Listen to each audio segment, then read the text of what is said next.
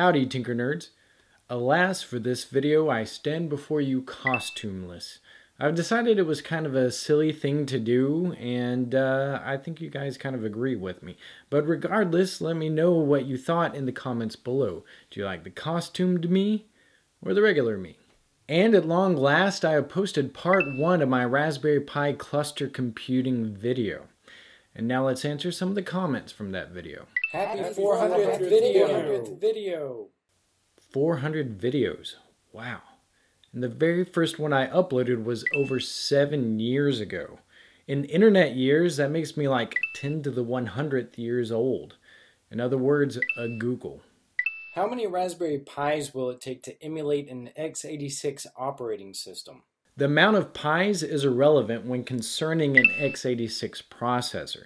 And that's because Raspberry Pis run on ARM processors, which is a completely different architecture than x86. Adding more ARM processors won't give you an x86, just like adding more bicycles won't give you a car. Instead, if you want to run x86 programs on a Pi, what you need is an emulator that can emulate the x86 environment on an ARM processor. You should just upload the image file so that we can get around all that. Would be nice. I like that idea. However, the point of the video is to explain cluster computing and to show how it works. And handing out the image without doing the actual work to get there is like asking for a diploma without having attended school. But despite that, if you decide to become a patron of my videos, you can find a downloadable version of the image. If you're not able to become a patron at this time, feel free to ask one of the current patrons if they'll send you a link to the image. So can you play Minecraft on this? If what you're asking is, can you play Minecraft on the Raspberry Pi cluster, then the answer is probably yes. But some things that you'll need to note is that you'll need an MPI Java interpreter as opposed to the MPI Python interpreter that I installed in the tutorial. Another thing to note is that you'll need to use the Minecraft Pi edition.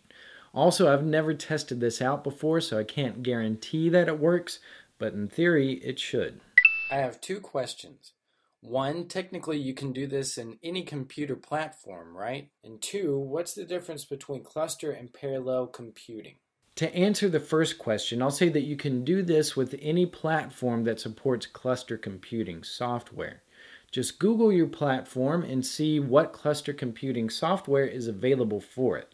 To answer your second question, parallel computing is essentially the act of computing many different calculations at the same time. Most computers nowadays with multiple cores can harness that parallel computing power within a single computer. Cluster computing, on the other hand, is a bunch of different computers that are connected together so that they function as a single computer. Just show me how to install Windows on an iPad. It's simple. You take a piece of cardboard, you paste an iPad image onto it, and you digitally track a Windows OS on top of it. What's the first programming language you learned? The first programming language I learned was Visual Basic. And happy 50th birthday to the basic programming language, by the way. Please give us a hint on your contest. First of all, thanks to all of you who are watching and paying attention to this contest. As many of you have found out in my last video at the very end, I had some letters missing from it. And in my next two tutorials, not to be confused with the comment shows, those will also have letters missing from the end of them as well. Now all those letters combined will point you to a page on my website that will host the contest.